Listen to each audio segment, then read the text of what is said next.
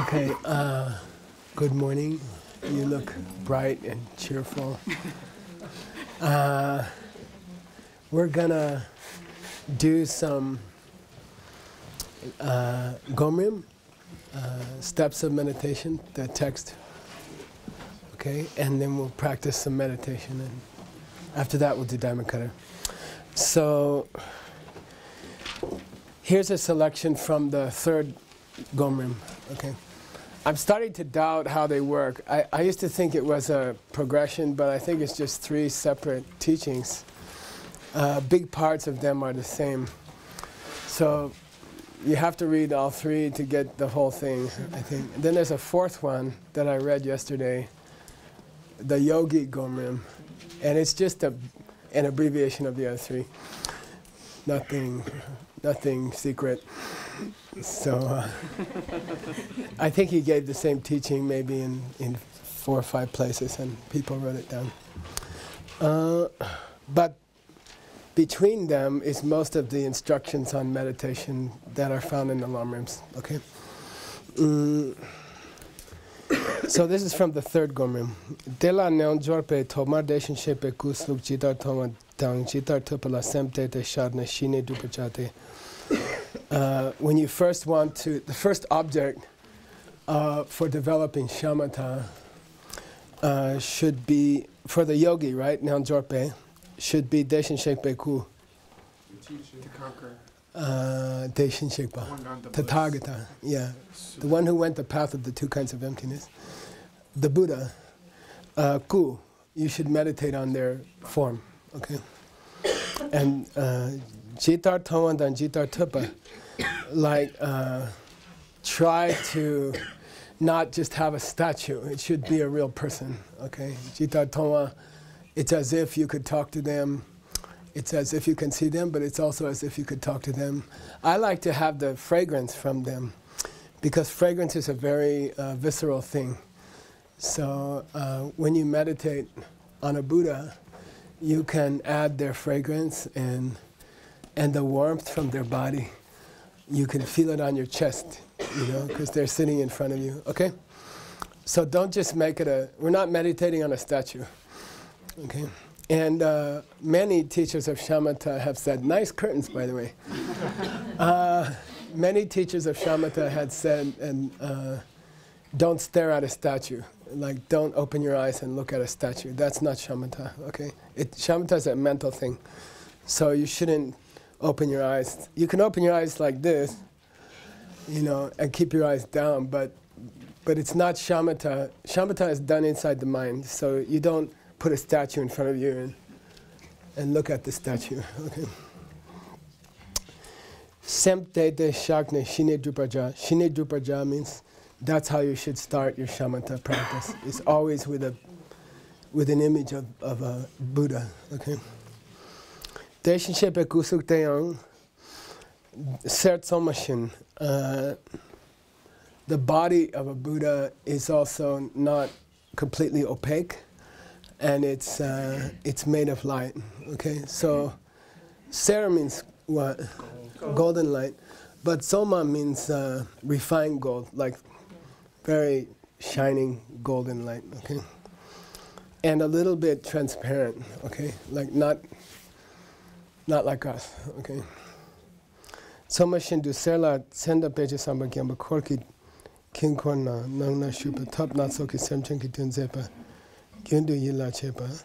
And then think about all the things this being is doing to help people on this planet. Okay, so all you know, you can imagine all the sneaky things, upaya in Sanskrit. sneaky things they're doing to help people. Some are obvious, some are not.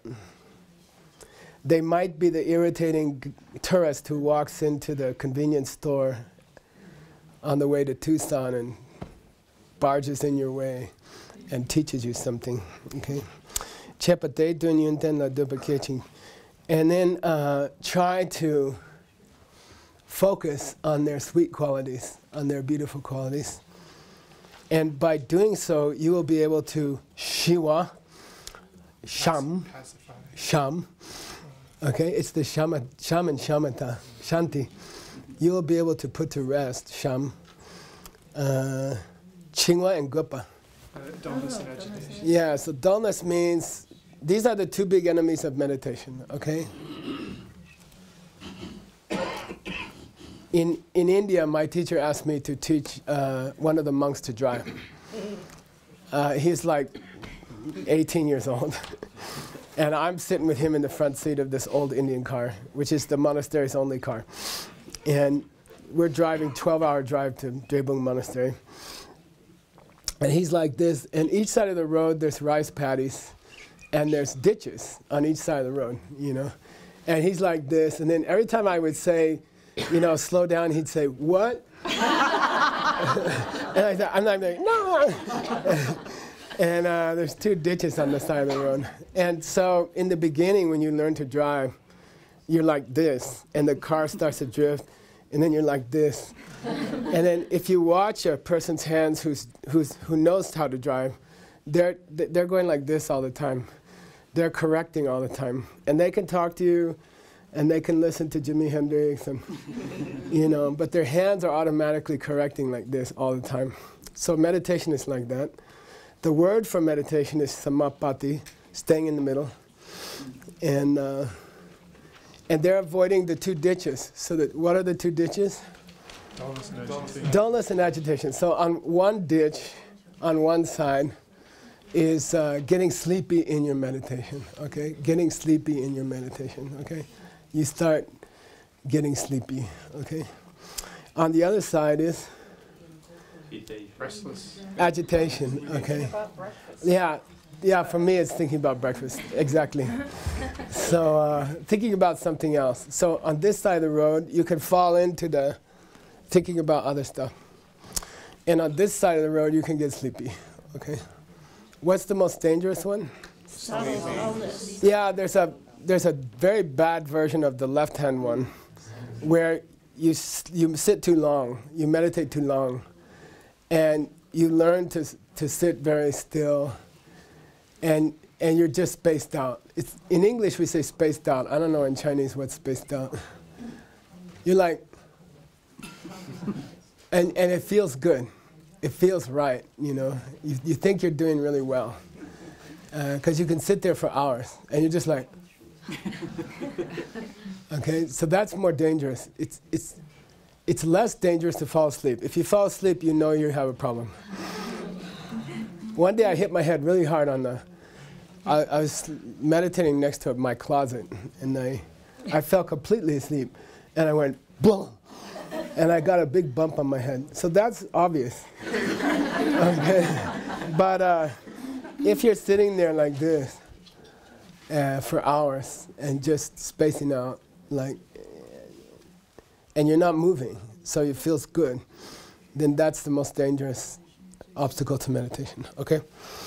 Uh, de jisidu dundu shupa shindu toma giwa de sidu samten chao. Uh, when you can get a very clear image of that person in front of you, we can call it dhyana. We can call it pretty good focus, pretty good concentration. Okay.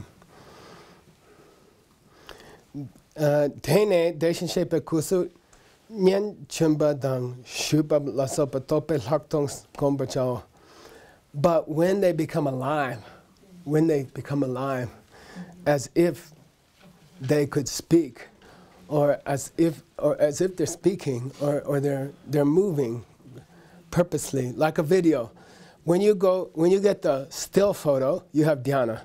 When you get the video, you have uh, laktong. Okay, because you then you can start examining where did the Buddha come from, and where is the Buddha going, and you can start examining the emptiness of the Buddha. Okay, so when you get the still photo, you have dhyana, concentration. When you get the living person, really living person, the video, then it's uh, you're getting close to shamatha. Okay. Mm, shamatha. Yeah, and the still photo is dhyana. Okay. And then he goes into an emptiness meditation. Okay. so today I, I thought we'd do Kamalashila in two parts, uh, the Gomrim in two parts. One is just starting on the first image, okay? And then after that, we'll do the, he starts on the five problems and the eight antidotes, but he calls them six problems and eight antidotes. So, uh, yeah. So, in meditation, if you're in the state of meditation, you're having an interaction with this being. Is Yeah. that considered Close to shamatha. close to shamatha? Yeah. Because immediately you're going to start to use it to, dis- to examine their emptiness. Okay, all right. Shamatha, he has a long essay in here about the need to balance shamatha and vipassana. And he almost uh, criticizes. He, he says in India there were two groups of people. One were the like Hinayana practitioners, and one were the like Mahayana fundamentalists. And then he said the Hinayana practitioners, their shamatha got too strong compared to their vipassana.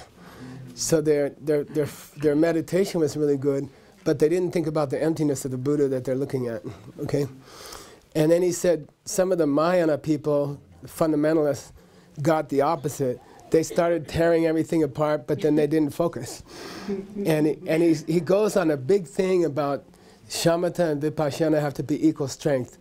He says uh, you can't plow a field. We used to plow the fields with oxen in the monastery. It's a real experience. you have to stand on the plow and you have to balance these two huge animals. And uh, it's terrible. And you're out there in the sun for like 12 hours. And uh, we used to grow corn before the monastery covered the cornfields. And uh, he says those two oxen have to be equal strength.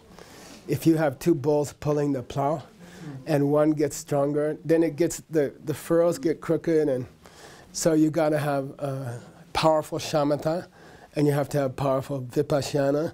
And you can't let one uh, dominate the other. You got to have them in a balance, okay? So the next meditation we're going to do, we're going to start with the stillness. The object of the meditation is your your physical body, which is very unusual. You normally don't focus on your body. So we're going to focus on our body. Just keep scanning. Are my fingers moving? Is my am I smiling and then not smiling? You know, is any part of my body, is my ears twitching? You know, so you're gonna keep scanning your body to make sure you are like a statue, okay?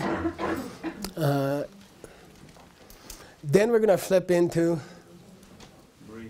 the breath meditation, okay? So coming out of here and uh, coming in from your wings and coming down, and then you take a gentle push here, bring your belly button to your spine, and push the air out from here. And try to, just try to, in a relaxed way, not in a forceful way, not in a, "Wah," not in a competitive way, which is very hard for some of the guys, including me. You just try to extend it out, and then it just kind of goes, okay? So you try to get the exhales, focus on the exhales, okay? Then we're gonna go into the shamatha, first shamatha object, which is a, a Buddha, okay? When you achieve the path of seeing, when you see emptiness directly in the middle of the Vajra, okay? Uh, there's two parts to that experience. One is 20 minutes, and the second one is about, is, is until you fall asleep, until you go to sleep that night. So if you see emptiness in the afternoon, you have 20 minutes on the cushion. Then, still on the cushion, you have a lot of deep experiences, which are mostly related to the four truths, the four Arya truths. Okay? So there are 16 experiences, like you can see your death, and you can see how long it's going to take you to become a Buddha, and you can see all living beings in a few minutes. Okay? You have, you have a group, four groups of important experiences. And later they were all grouped together and called the Four Truths. Uh, and a bad translation would be the Four Noble Truths. So it's Arya. Arya means uh, someone who saw emptiness, who is elevated. So they're not, they don't mean noble like ethical or something like that. They, they have nothing to do with that. So uh, there's just four experiences that you have. Uh, still on the cushion, but not in, not in meditation, not in deep meditation, okay? Then you get up, and the rest of the day you have all these amazing experiences. Okay, uh, you have clairvoyance for about 24 hours, and you can read people's minds and stuff like that. Uh, but towards the end of those Arya truth experiences, one of the thing, one of the coolest things you see is you as a Buddha. You see yourself, uh, what you will be. Okay, you can watch a Buddha and it's you, okay? And it's a very specific perspective. You know, it's not like he's sitting on a chair or she's sitting on a chair or something like that. She's. We were trying to find a name for the press, for the Buddhist printing house, and we called it Standing on the Sky Press, because also nobody has that website. and uh, and uh, uh, the perspective where you see yourself as a Buddha is standing on the sky. So there's the atmosphere around the planet, like there's the blue planet, and there's the atmosphere, and you're literally standing on top, you know, and kind of like looking down, like Jesus or something, you know, like you're looking down, and and uh, oftentimes you will see your lama next to you, or your partner, spiritual partner, or something. You will see the Buddha who brought you there with you. Okay, so um, the perspective is not from the ground, because then you would just see the bottom of their feet. okay, okay. So I want you to try to imagine the perspective. It's like you're in the space shuttle, space station, International Space Station, and you're looking out the window, and you can see one or two Buddhas on your level just standing over the world. Okay, sometimes they sit down because it's hard to stand all the time. Uh, so if you want to put a chair there, it's okay. okay. All right, yeah, that's okay. But uh, what I'd like you to do, what we'll do in the meditation, the first Buddha we will develop shamatha on is you. Okay, I'd like you to focus on yourself as the Buddha, coming Buddha. Okay, when you see emptiness directly you will see that that scenario directly, okay? And it's a feeling of uh, telescopic feeling. Uh, it's a feeling of uh, that's projected into the future. So you're in the space station and you see something, but you have this sense of uh, it being telescoped into the future. You can, you're seeing into the future what will be, okay? And, uh, and then you have to make, so start just traditional to start with the eyes. Just two eyes. Just get the eyes right, okay? Like two eyes. That's a nice, easy place to start, okay? then you get the silhouette. Like there's a light behind them, and you can just see their outline. Okay, so when you're first visualizing, when you first start shamatha practice, and it's always the same object at first, which is a Buddha, then you just you get the eyes right, and then you work on the silhouette. Okay, so it's just the silhouette, like two arms, not one, and two legs. Okay, and uh, no, I mean, you can't just go right into a Buddha. Okay, you have to work on it.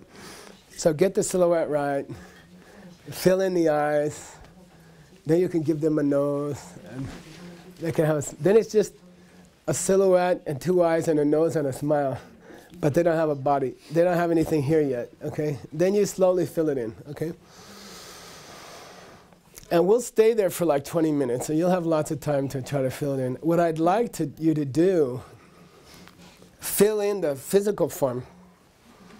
And for each of us, it will be different, okay? Like, some guys want to look like George Clooney.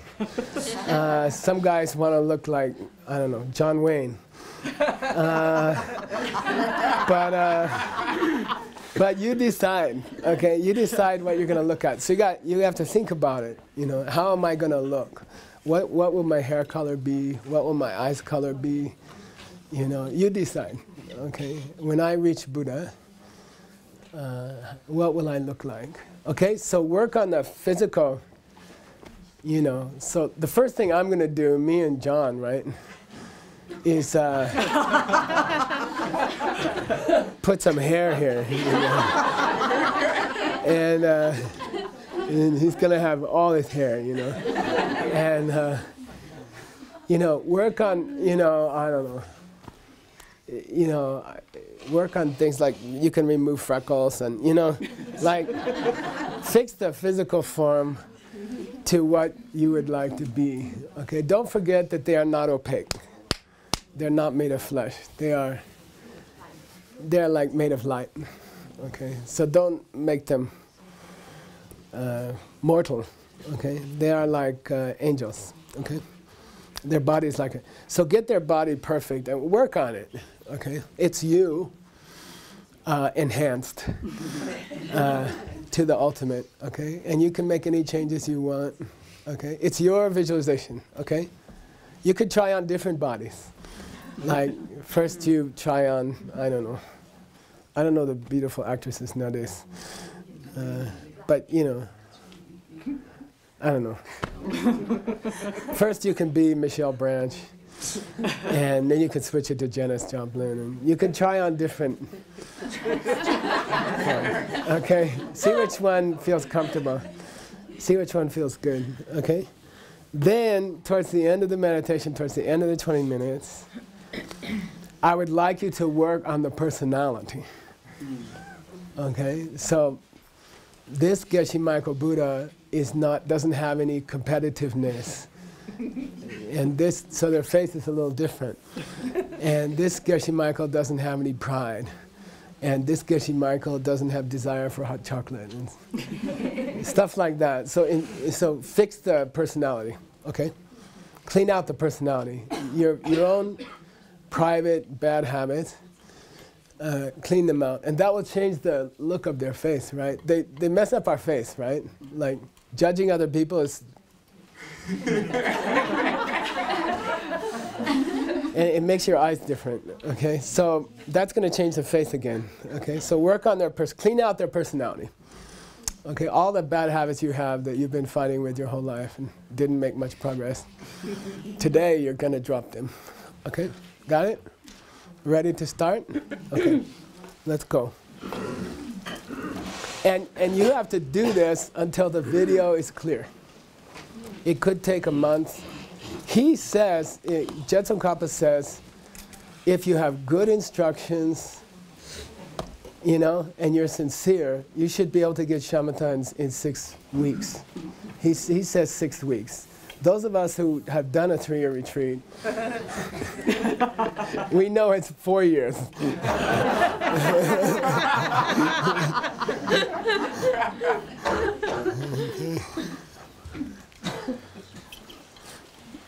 So get ready, turn off your phone.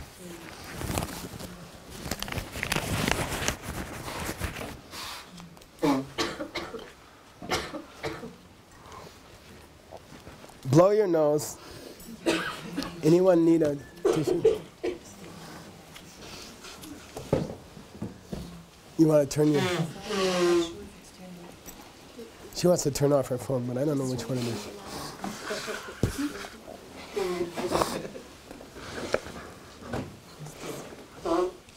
By the way, I, I, I read a different Gomrim yesterday, and he mentioned the pee pee and poo poo thing again. But in, in the way he phrased it there is a little bit different, and it sounds like, I just want to be honest, it sounds like it might be make sure you pee pee and poo poo before you go to sit down.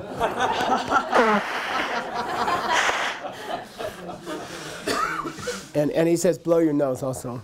So he, he adds blowing your nose. And he adds a particle ne, which means uh, first poo poo and pee pee, then go. You know, like get it all out. We said what? We said even if the it's an attractive place, even if there's poo poo and pee pee. That's the way the other Gomrim breathes. So can take it both ways.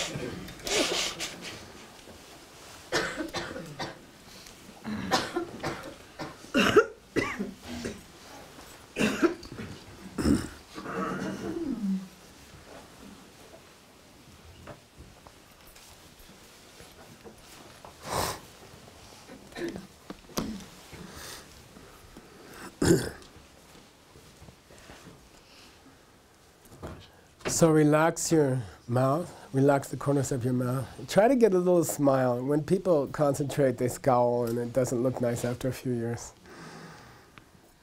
So try to lift up the corners of your mouth a little bit. It, it puts less pressure on the chakra on your forehead.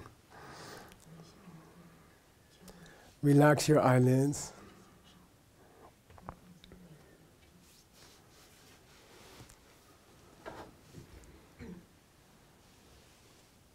Relax your fingers.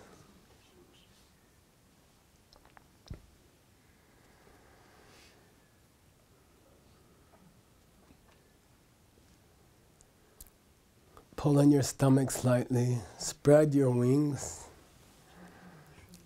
Bring your shoulder blades together a little bit. That will move your hands up your thigh.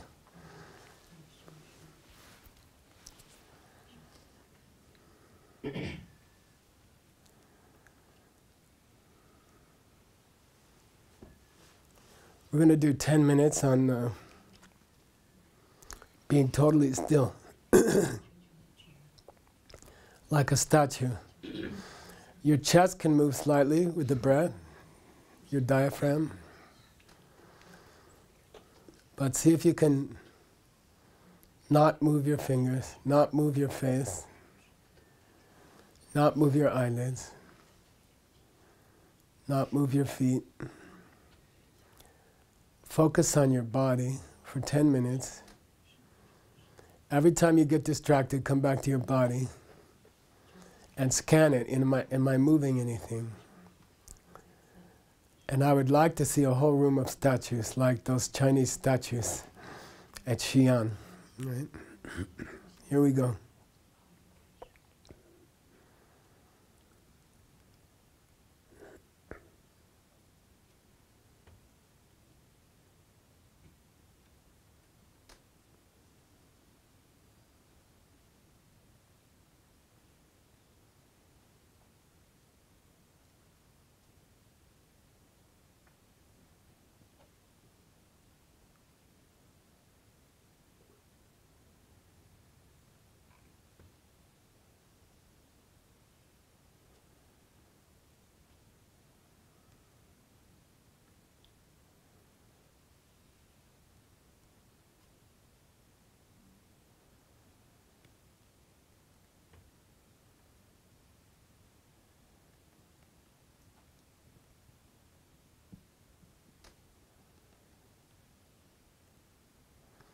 If your feet fall asleep, if your legs fall asleep, it will hurt for a few minutes. Don't move. then they will fall asleep and you can sit for hours.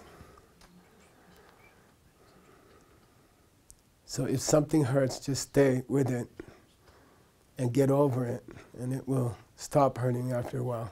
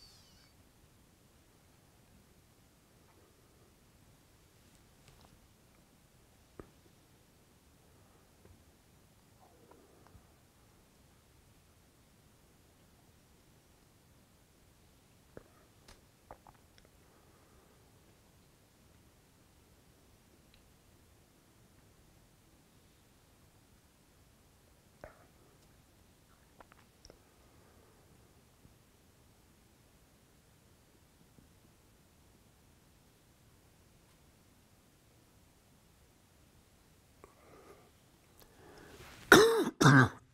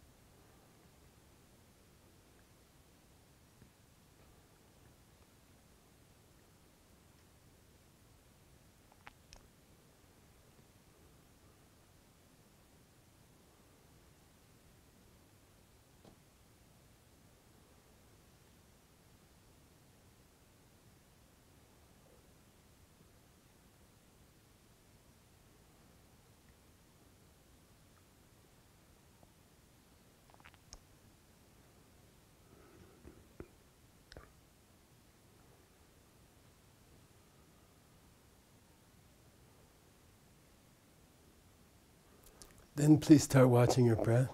the exhalation comes out of your forehead, lower part of your forehead. Try to find the spot in your forehead that helps you focus. The inhalation comes down your shoulders, down, narrowing either side of the spine, down to the area of Dantian, below your navel, and then push your navel towards your spine. A small constriction of the lower abdomen and push the air back up your spine and out your forehead. And we'll sit here for about 10 minutes.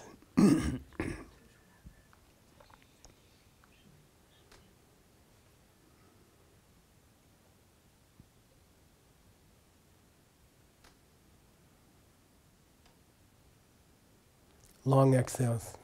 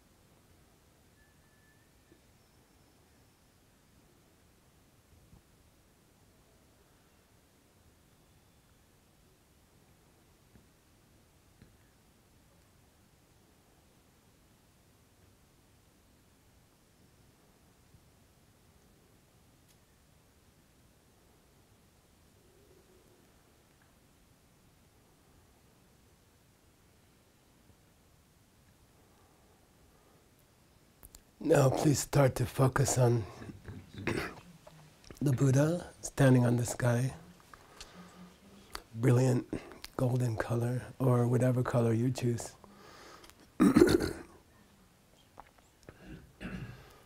it's your face, it's your body. You're looking at it from the viewpoint of outer space, so you're on the same level. And it's very far away, but you can see it up close. And start with the silhouette, the eyes, fill in the face.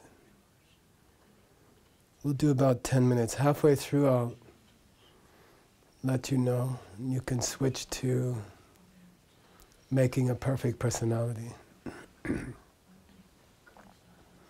this is you, future Buddha, taking care of a whole world with your teacher.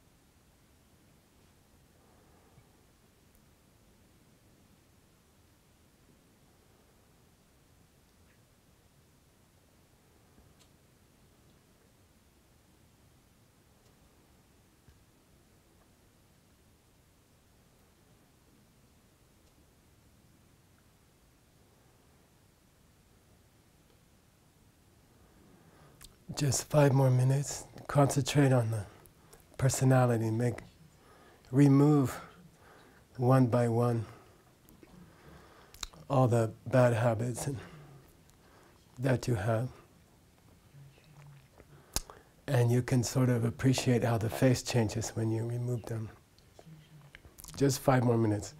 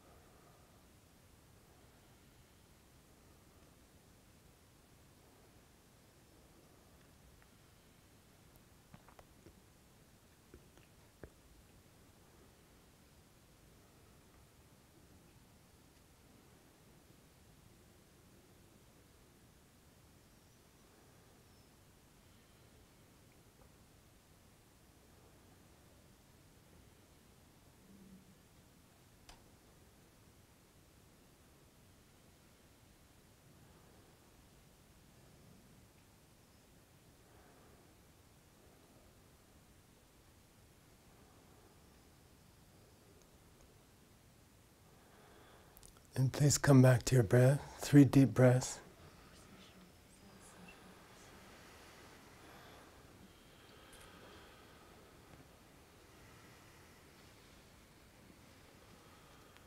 Dedicate your shamatha to helping other people.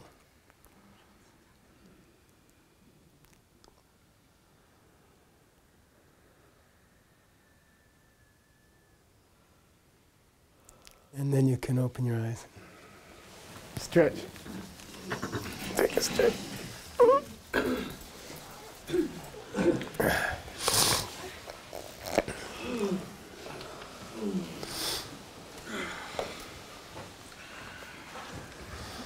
Okay, any question? Any question? Any questions? My Lama used to say, "Oh, everybody knows it perfectly." So how do you know when you have shamatha? Hmm.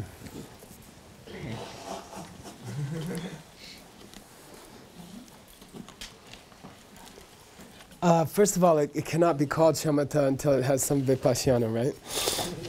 So it's like saying, uh, I don't know, you have left two wheels of the car and then you're going to have to right two wheels of the car. And um, I think it's a kind of a effortless focus.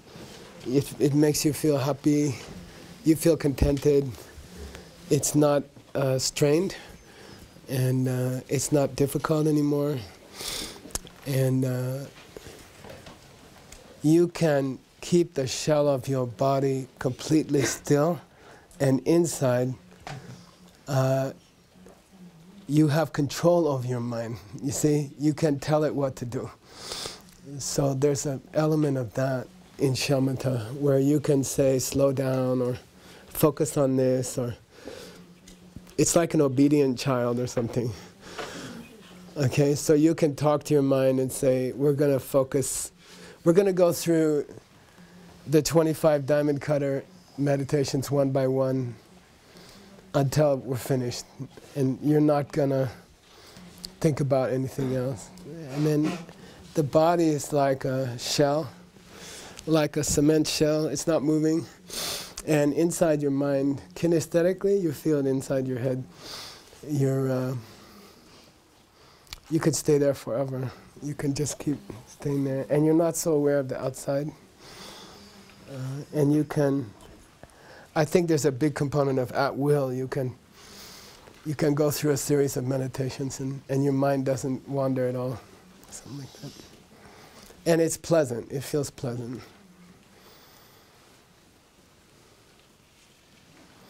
Physically, you might find. Uh,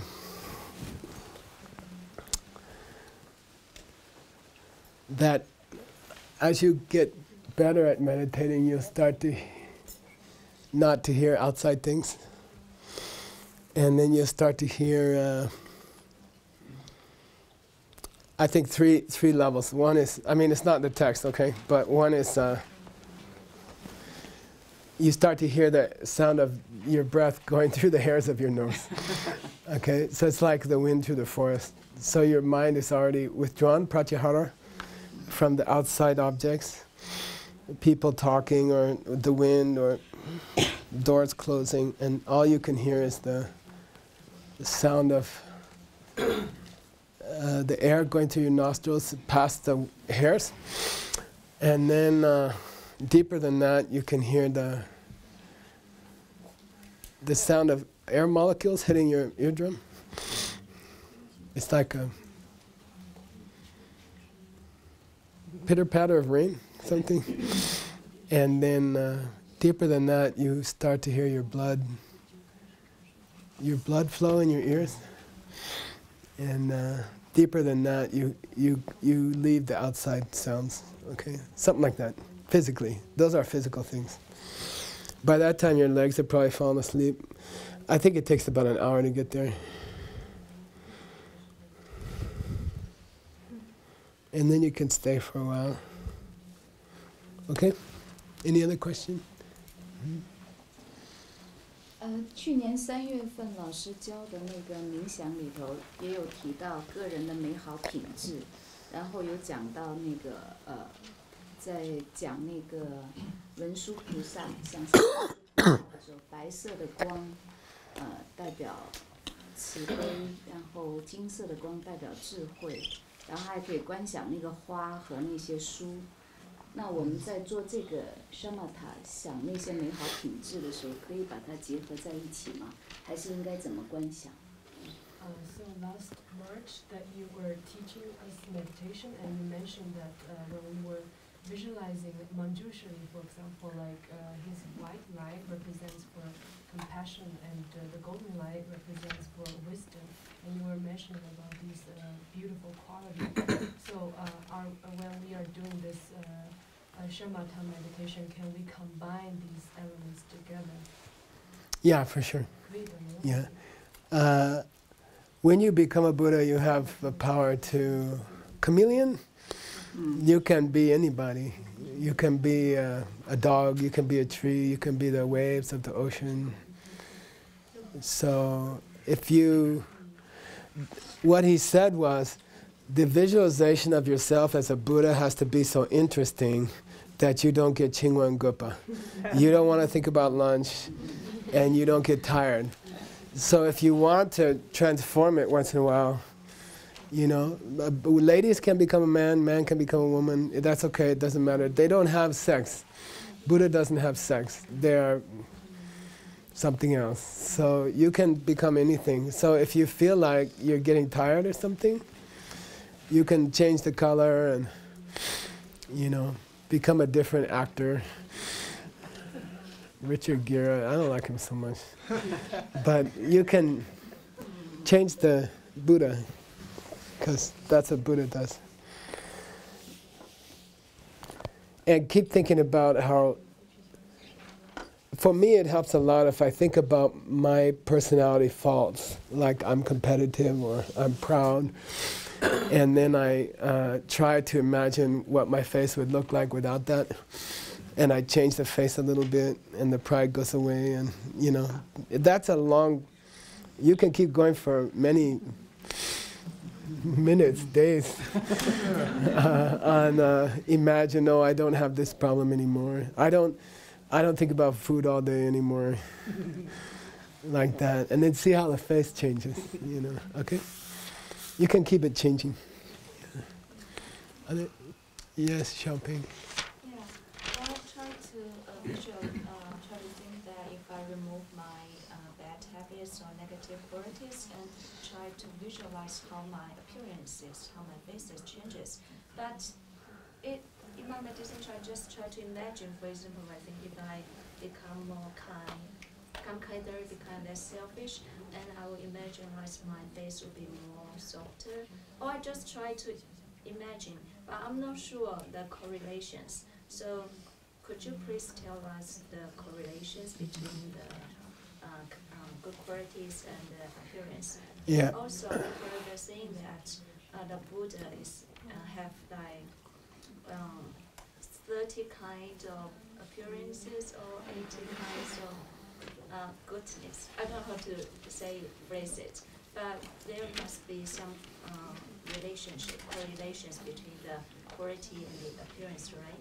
Could you Yeah. please explain to us? Yeah, that's a good question. That's eighth chapter Abhisamayalankara by Maitreya. And uh, Buddha has 32 major signs and 80 minor signs. 112 total. 32 major signs, 80 minor signs. And uh, each one comes from a different personality trait, each physical sign. The one I like is this little thing here. He has a little hair here. If you pull it out, it will go a million miles. and the karmic cause of that is taking your lama to the airport. the karmic cause is, is taking your llama places, like driving your llama. She's going to have a lot. That's why she got so much hair. Uh,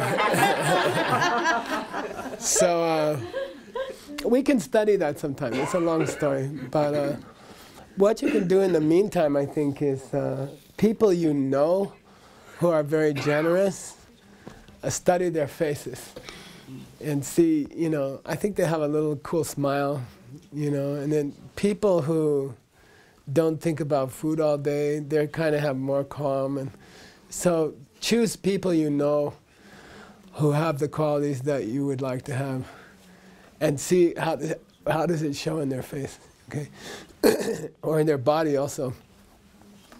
You know, so you you start a database in your own mind. Uh, oh, my friend who's very patient, uh, she never has this thing, or she never has this thing. You know, you can use Botox or you can use meditation. Uh, meditation is cheaper.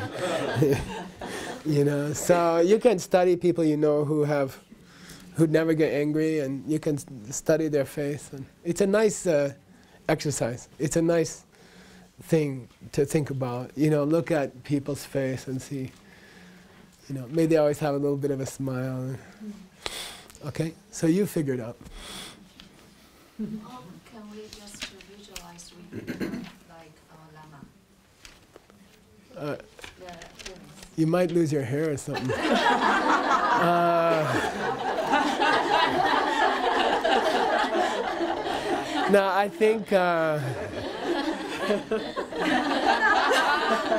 you can do that, but you pick pick the nice qualities. You know, you can do that. But I think you will find nice qualities in many people. You know, yeah. And that's a good exercise, I think. Stanley. Uh, mm, when, when I try to focus on the uh, visualization, like at the beginning of the meditation, you ask us to sit still and focus focus on the body. I already feel like my body is shaking a little bit, like Yeah. constantly. I try to like make it still, but I still feel like that.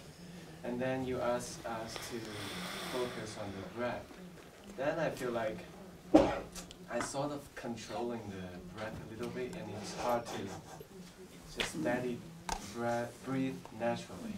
Yeah. Then you ask us to look at the Buddha. Then I find my mind goes back to the body and breath constantly, and I Yeah. have to put it back. So, is there a way to uh, get rid of the feeling of physical body? and? Yeah, good. Uh, practice. so uh, there's this great sitar player called Ravi Shankar. He can play anything, and he uh, what do you call that? Improvise. He he doesn't. He memorized a whole song, like an hour song, and then he adds his own thing. And somebody asked him, uh, "How do you improvise like that?" He says. Uh, 90% perspiration, 10% improvisation. It means practice, practice, practice. So you just have to practice. But the main thing I think is uh, don't get uptight. Don't get tight. You know, don't say, oh, I'm back in my body, oh no. you know, like kind of flow. And, and the reason we're working here and not here is uh, when you focus here, you get tighter. so for shamatha, he says these two chakras. So that's why we're pushing here and we're breathing out here. But this chakra is very dangerous. You get very easily nervous and shaky. So uh, try to avoid this one. And uh, I would say uh, what helps me. This is an old, old Buddhist trick. Shrink the visualization to this, you know, if it's like as big as a basketball, then make it a tennis ball, and then make it a golf ball, and then make it a marble, and then make it a grain of sugar. Like focus the mind. The Buddha is sitting inside a grain of sugar, you know, and the more you shrink the perspective, uh, the better the focus gets. It's more easy to focus. If the Buddha is like as big as China, it, it's difficult. But if you put them inside, you say, "Can you just sit inside that grain of sugar? you know, is that okay?" And they're like, "Yeah, there's lots of room here." you know, and uh, that helps your focus a lot. So you should try that. It's very cool. Your concentration gets much better very fast. Okay, it's a good trick. Okay. So I'd say that. The other thing is practice, but don't force. Don't fight it. You know, if your mind comes back to your body, say, "Yeah, okay, we're back in our body. Let's." when you're ready, can we go back to the Buddha? But don't say, "Oh, go back to." You know, if you fight it, you get you'll get nervous and you won't enjoy the meditation. Yeah. So, Jen Jen, you had one? No. Okay. Um, 我老师，我两个月之前有有做过一次治疗，在那个治疗的过程当中，呃，我看到自己也是一个冥想的治疗，在那个过程当中，我看到自己变成身体变得巨大，变成一个观音，然后再往上一层，就是到太空里面去了。然后就是说，同时再往上一层，我看到自己有呃八十一变的这个能力，然后我看到空性它是一道光一样的门在地球的跟地球之间的这样的关系。然后今天的这个呃冥想的状态，我看到我可以飞得更高更高，就是说在宇宙的这个空间里，就是在宇宙的这个空间里看到很多很多的类似于像呃地球这样子的一个星球。我看到佛陀之上，呃，是不是在佛陀之上有更高的一股能量在指导佛陀？Okay, uh, so uh, two months ago I had a, a meditation a treatment, uh, therapy, uh, and um, I visualized myself becoming a Guanyin, uh, uh, and I uh, rise up to uh, on top of the earth, and I uh, see myself like really gigantic, like really big body, and I see that I can have all these uh, superpower and then uh, and I visualized like uh, in this uh, there's a gate between the earth and uh, like emptiness is kind of like a white light so the gate uh, to go to the earth. And then today in this uh, shamatha meditation I visualize that I can become higher rise higher and I, I can go through the whole universe and I see different planets in the universe. And I feel like there's a higher power above Buddha. Is that true? Yeah, there's a, a higher power which is guiding the Buddha. Is that true? I think you can say that, and it's it's Kongxing, it's emptiness, and we'll talk about it today. We'll talk about it today. Even Buddha has to obey this power. Okay, so I think you can say that. Sometimes when I'm with a Christian friend, and they talk about God, then sometimes I feel like uh, the law that what you do comes back to you is God. You know, so maybe God is, uh, or maybe higher power is, uh, they're a person. We believe there's a person, but who can be a principle, like that. So you might think about that, you know. But I like it. I think the, what's happening in your mind is very health- healthy. It's very good. 嗯，就是我我在观想的时候，观想我自己的脸也很清楚，然后观想那个光也很清楚，然后我也能观想到上师的脸和这个光。嗯，但是当我观想我的精神伴侣的时候，呃，我就开始分神了，他会分成很多脸，然后呃，有一个脸还是女性的脸，我不知道这是不是我要去修行的方向和问题，我想问老师。 Uh, so when I'm visualizing in my meditation, I can see my own face very clearly and also the light on my lama's face very clearly. But when I'm uh, visualizing my spiritual partner's face, then it changed and changed to many different faces. And one of the faces is a female. So I'm kind of wondering, is that the direction that I have to uh, practice? on? Yeah, I think you can follow it. I think if that comes up, if something like that comes up, and if that female is very Buddha, is a very nice Buddha, then that's okay. This is a famous uh, statue, half man, half woman, uh, from India. Uh, and uh, a Buddha has both energies. So Buddha doesn't have sexual organ, like Buddha is uh, all the good parts of a woman and all the good parts of a man are together in a Buddha. That's the meaning of this. It's an Indian statue, but uh, so women have more compassion. They have more empathy, and then men uh, some often have more decisiveness and more. They can get big projects done, and the Buddha has both. Buddha is perfect mix of both. So that's partly why we practice with a partner, because we can balance our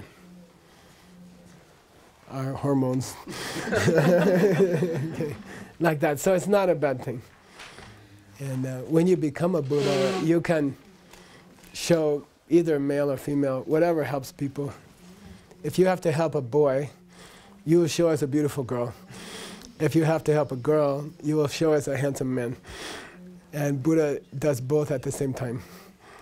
So you don't worry too much about it. It's fine. It's good. Whatever comes. As long as it's kind and sweet.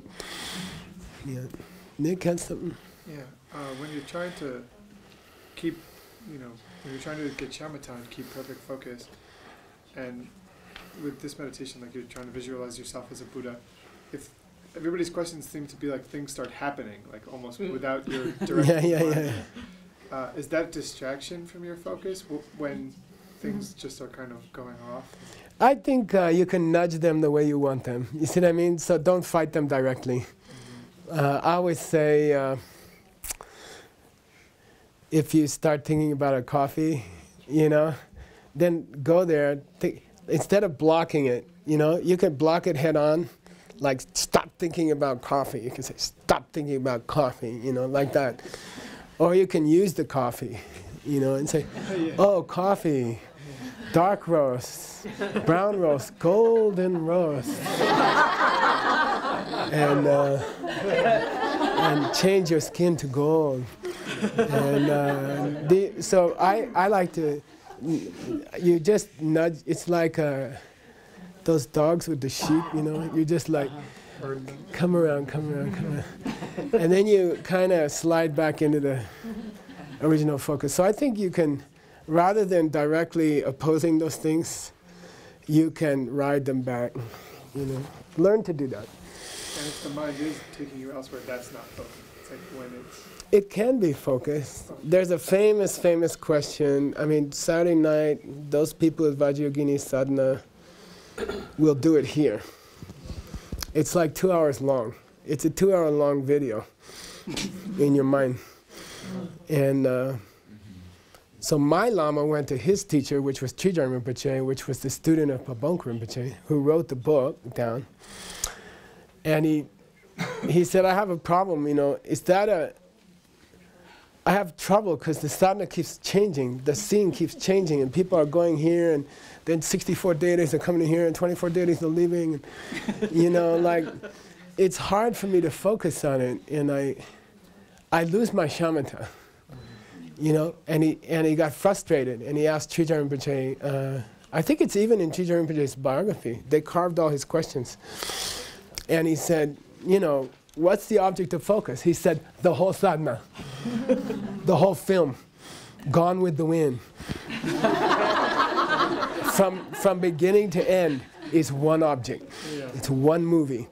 And that's your object. That's your meditation object. So you can, you can incorporate it. Yeah. That's still planned though, as opposed to just. Uh, so, That's why there's three, three levels of shamatha, the three causes for shamatha, right? uh, One is uh, technique, which we'll talk about today. You know, like if you get chi- chingwa, if you get dullness, do this. If you get agitation, do this. Inner technique inside the mind. Then there's conditions, like what kind of meditation seat, what kind of cabin, you know, what kind of food is better. He gets into food also. And then uh, below that is karma. Uh, in Tibetan, it's called sem, shen sem sungwa. What's that? Shen other sem minds, uh, S R U N G. protect.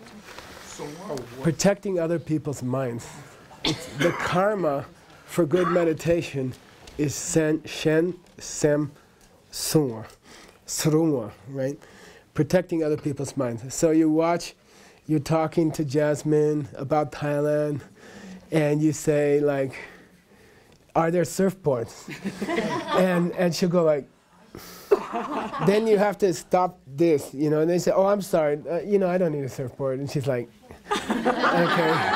And uh, no, that, in Tibetan, that's called protecting other people's minds. So the karma of peaceful mind is is to watch other people's minds, because that's why stuff comes up in your meditation.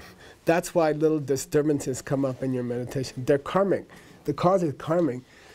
You irritated Jasmine with this surfboard question one week ago. And then in your meditation, your mind just goes there and you can't stop it. Uh, you may not be able to stop it today. You see? That gets into inner technique, but those are caused by the karma. Those are both caused by karma. So, uh, so if, if you get distractions in your mind and you just can't stop, you sit down and you just start having distractions, probably you have to look at the karma.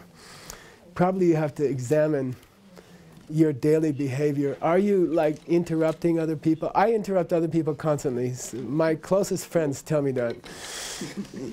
Those who are honest, you know, they say, I can't get a sentence out, Geshe-la normally you're saying, "Oh, I had the same thing happen to me. Let me tell you about it," and uh, you know, and uh, and I think I'm being empathetic, and I'm just I'm just talking about myself, you know. So when you then the karma of that is uncontrollably your mind will do something next week in the meditation.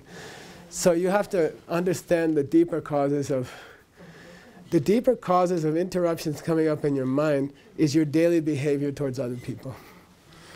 So if you really want to be a good meditator, you have to start on it at work or with your family. Like, don't interrupt people. Let them say what they wanted to say without telling them how it happened to you too. And, you know, uh, watch their mind, shen sem sua, you know. Watch their face while you're talking, you know. If they go like, then back off a little bit. You see what I mean? Like that, okay? And then that's that's more important than the posture or reading Gomrim or everything else because that causes those things, okay?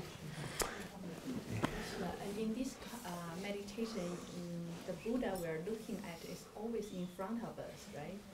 Because when I try to imagine uh, the good quality, the Buddha, and I eliminate my fault, I like to imagine myself and my own body turns to the Buddha. Yeah, if you slide into that Buddha, that's okay.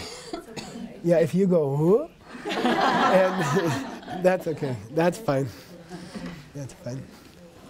In the path of seeing this, the second part, not the direct part, but afterwards, you are watching yourself in the future. You are present Catherine, and you are watching future Catherine. Yeah, any more questions? When shall we stop? yeah, it seems to me that if you don't say that we stop here, and then I would like to go on. But I don't know when will be the point that, like, my focus is. Yeah, get tired. Yeah. Um, I would set your timer. You know. Uh, because if your meditation is really good, you can't remember to stop. Maybe that, that used to be a problem with Tsongkhapa. He used to go to the morning prayers. In the monastery, they start around 5 o'clock. They stop about 9 o'clock. But he'd be sitting there at 11 o'clock. and somebody'd shake him and say, you know, it ended two hours ago. You know, oh, really? you know, so uh, I think it's good to set a timer. Find out what's your capacity. You know, don't go too long. Don't go until you're tired, okay? Like, stop just before you're tired. So set it for five minutes, see what happens. Then set it. I had a yoga teacher. Uh, he has a nice book. His name is David Swenson. He has a great yoga book. And when I did my three year retreat, I used it. I used the book. And uh, then after about a year of retreat, I wrote to her a note and I said, can you invite him to come teach me in my retreat? because we have a break every six weeks or something. So he, he agreed. he's very famous, and he came, and uh, I was so surprised. You know, David Swenson. He's he's like the the most famous Ashtanga teacher, one of the most in this country. Then he, I said, I have trouble reaching my toes. You know, I can't, I can't reach my toes. And he, next day he brought me a telephone book, like that. He said, put the telephone book on the ground. Can you reach the telephone book? I said, just barely. He said, okay, tomorrow take out one page. Yeah, and I tried it. It took three years to, you know, and at the end I could touch my feet, you know. So increase your meditation one minute a week or something. Start with five minutes, then go six minutes. So after a year, you'll be up to an hour, you know. Okay, but do it very gradually like that. You don't notice that it's changing. Okay, and your capacity will will increase. Okay.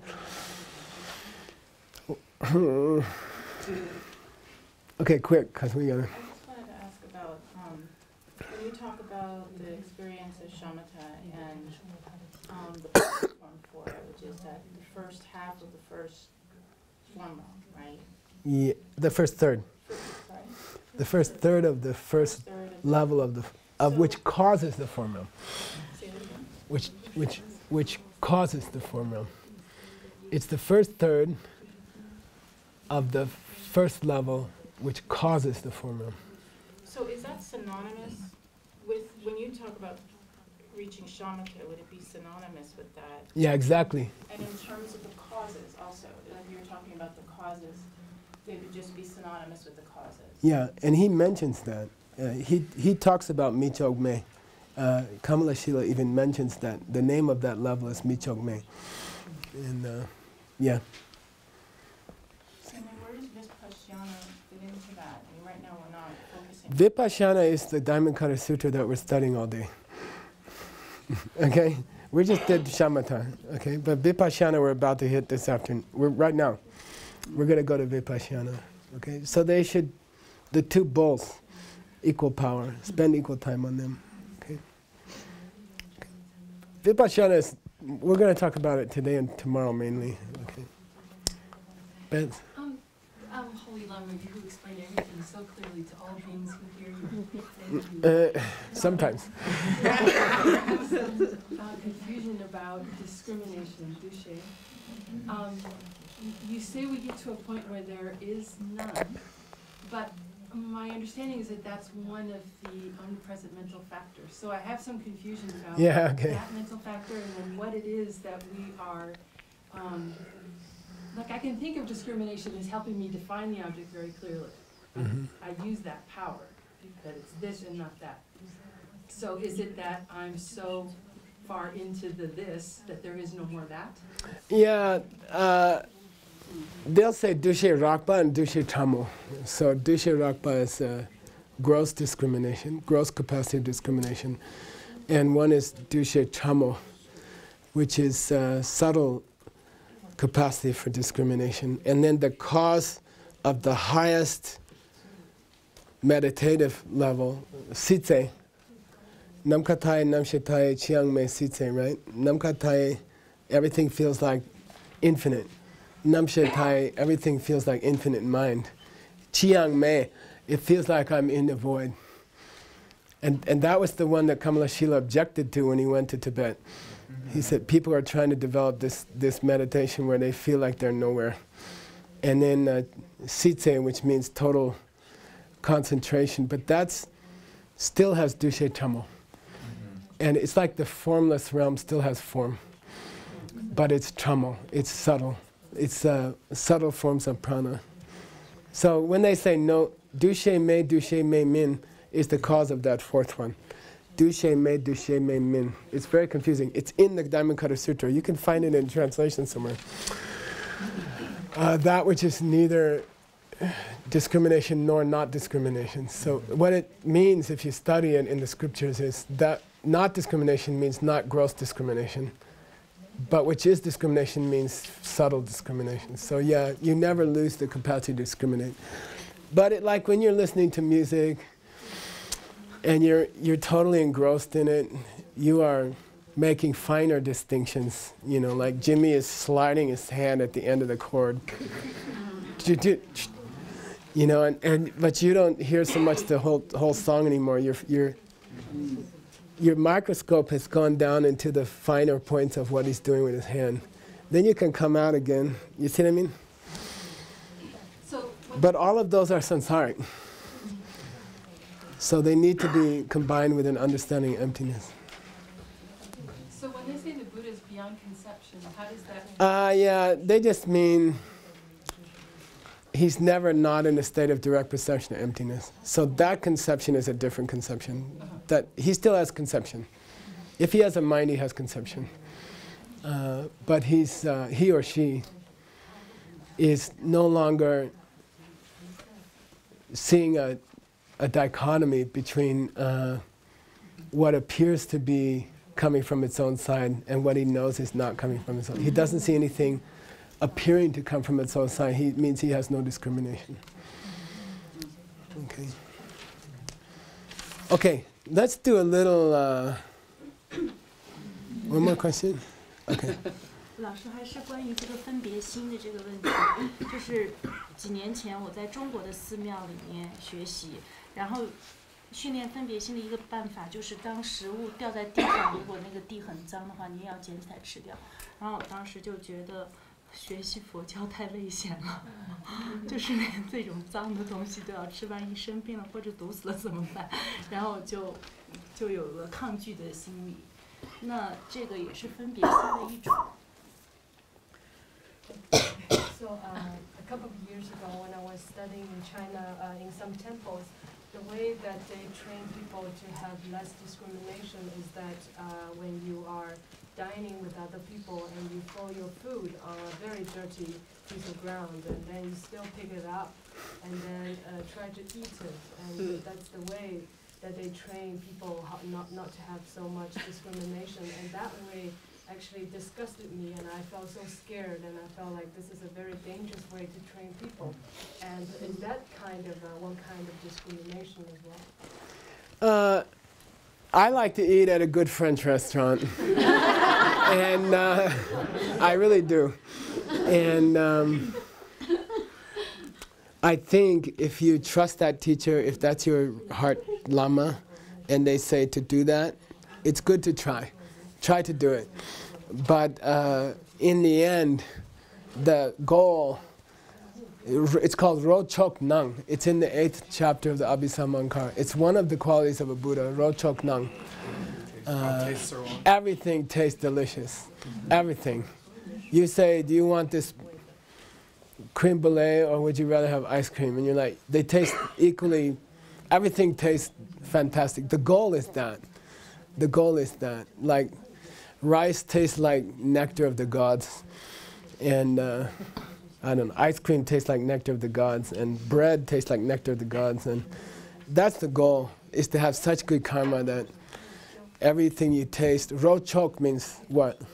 Supreme taste. supreme taste. Every nung means it appears to you, everything's delicious. You go and eat.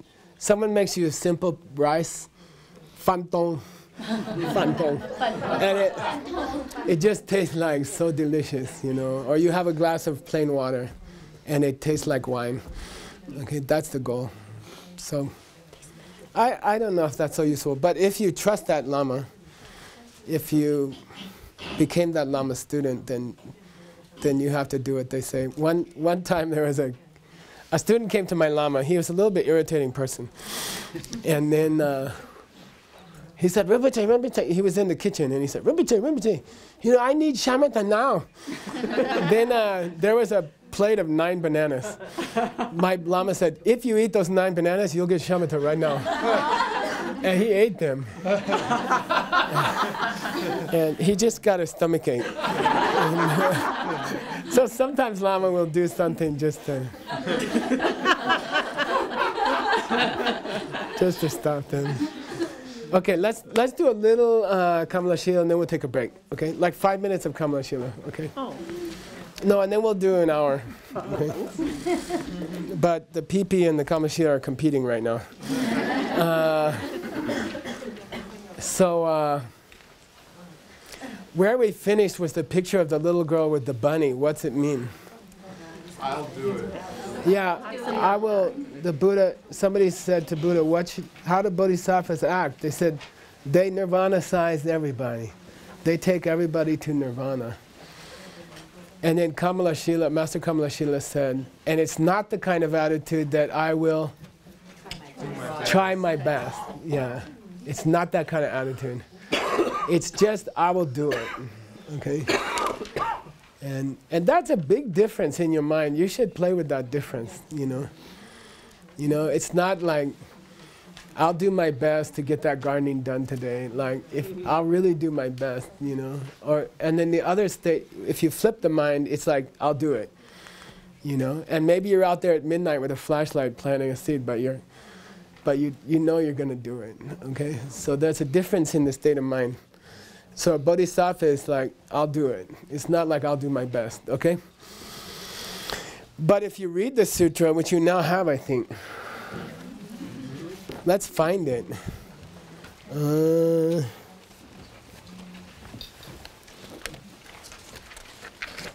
no page numbers. That's a challenge.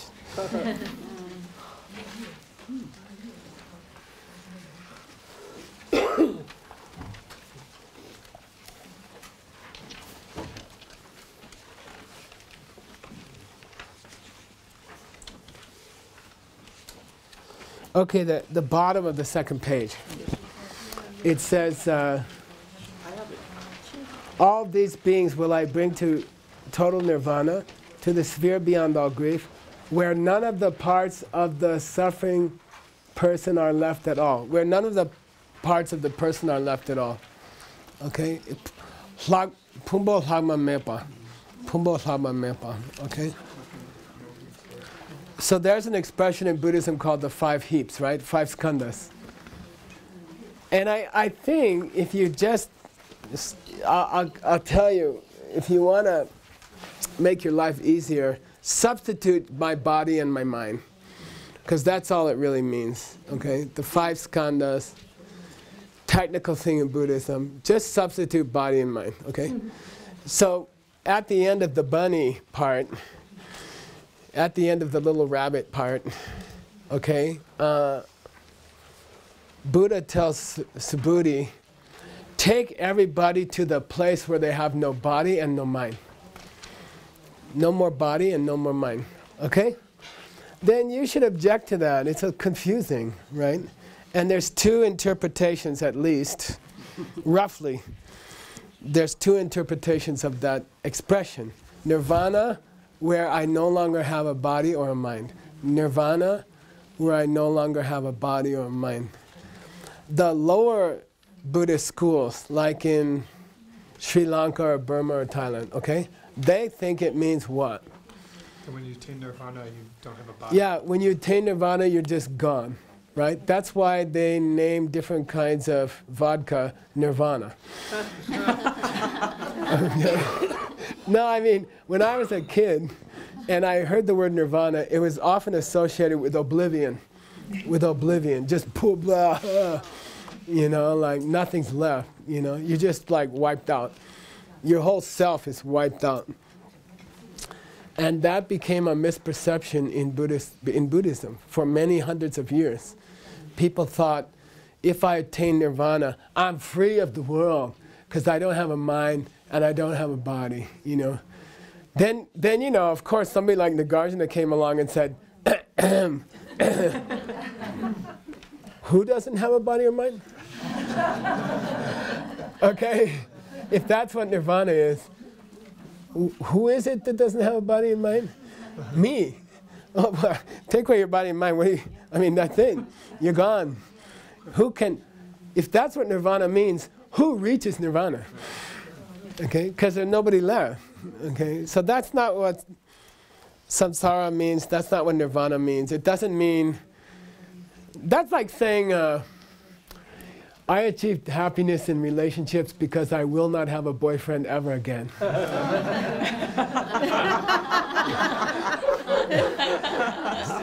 okay, that's like, no, you didn't achieve happiness. You just got rid of all of it. You see what I mean? Uh, you didn't solve the problem. You just avoided it. You see what I mean? So it's not uh, nirvana is uh, you lose your body or your mind. That's a lower school thought. And Master Kamalashila says that's not what we think, okay? you want to go deeper? so there's two kinds of nirvana. One's called Lakme, one's called Lakche. Right. With something left over and without something left over.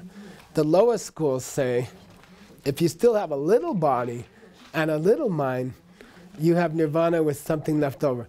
Then when you die in this life and your body goes away, you've reached final nirvana. Okay? So, I don't know, when you're 45 years old, you reach nirvana with some stuff left. And then when you die, you reach nirvana with nothing left. Okay? And that's the lower, lower, lower school. Okay? The higher school accepts the idea, they accept the term because it's a Buddhist term.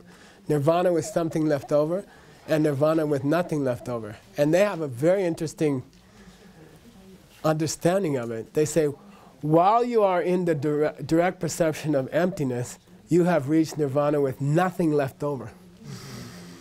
It means you're not have any normal thoughts. You're not thinking about anything except ultimate truth, okay? Then when you come out of that, and for example, you see yourself as a future Buddha, you come back to having some conceptual thoughts. Then that's nirvana with something left over. So which one happens first? Nothing. Yeah, nothing left over happens first, and then something left over happens second. In the lower school, It's the other way. yeah, something with leftover happens first, and then uh-huh. with nothing left over it happens second. Okay, that's the highest school. What about Tantra, John? what happens to the five heaps in Tantra? What if you're going to read that line at the bottom of page two from the point of view of Tantra, and they say, You got rid of your old five heaps, what do you get? A complete life body. You get five. Pure heat. Pure heat. Yeah, you, the heaps transform into the five Dhyani Buddhas. You are the five Buddhas of the five families, okay? You are the Buddhas of the five families. I taught it like 10 years ago here. and I forgot everything, but I looked it up yesterday. uh, okay, in the middle is Akshobhya, blue color, right? And they are the purification of your, well, anger, but which, which of the five skandhas? Empty. Namshe, general awareness. Is it? I don't think so. Yeah, it is. Yeah, general awareness. So in, in, in Tantra, the, when your mind becomes clean, pure, that mind becomes a Buddha called Akshobhya, a blue Buddha, okay? Then when your body, physical skandha, body of, when that becomes pure, that's related to Vairochana, Vairochana, Eastern Buddha, white color, okay? Purification of physical body. And which emotion? Ignorance, yeah. Not understanding things. Then you go north to, I always visualize New York, Canada, LA, and Mexico. that's how I remember them. Canada's green. so that's uh, Amoghasiddhi, okay, Amoghasiddhi. Amoga is a different cult word because uh, it's, it's a negative, right? Uh, uh, an initial A in Sanskrit is uh, negative, like avidya is ignorance. so moga means uh, to be confused, like moha comes from that. Muh, the, the root is muh. So moha means confused. Um, amoga means came to mean meaningful. Uh, and then siddhi means to reach it, right? So the, the northern Buddha is called to reach something meaningful. Dunya Drupa in Tibetan. Okay, Amoghasiddhi. Uh, purification of which? Skandha? Yeah, jealousy because it's green. That's how I remember it. but the skandha of the other parts of you. It's called the, the third skandha is the other parts of you. Okay, the third. So in Buddhism, we don't say body and mind. We say five heaps. Four of them are mind, mostly, and one of them is physical. Okay, so it'd be easier to call it body and mind in English, but we call it five parts of your body and mind. Okay, so then when you purify your conception, which Buddha? Amitabha. Amitabha. Amitabha. Amitabha. Okay? Amitabha. Which direction? LA. Red color. Okay? Uh, removal of which negativity? Uh, the, yeah, they call it desire. Or, okay. Then Southern Buddha. Ratnakara. Uh, yellow color. Removal of two negativities pride and pride and stinginess. And which the purification of which skandha? Feeling. What's left? Yeah, feeling. Okay, that's all that's left, feeling. So you don't have to remember all those. John taught them somewhere in Mexico. Uh, but the point is, when the Buddha says to Subhuti, you have to take people to a place where they no longer have a body or mind, he means impure body, impure mind. Okay, so so nirvana doesn't mean you disappear. Okay, you drink a lot of vodka and you disappear. It doesn't mean that. It means your being becomes pure, and every part of you becomes a Buddha. Okay, so it, it when he says Lakmen Yangde, you have to take all these little rabbits to the place where they have no body or mind. The Buddha means no dirty body, no suffering body, no suffering mind. Okay? He doesn't mean no body, no mind, but he says no body, no mind. Okay? Got it? On that note, you can fill your bodies with fresh juices and eliminate other things.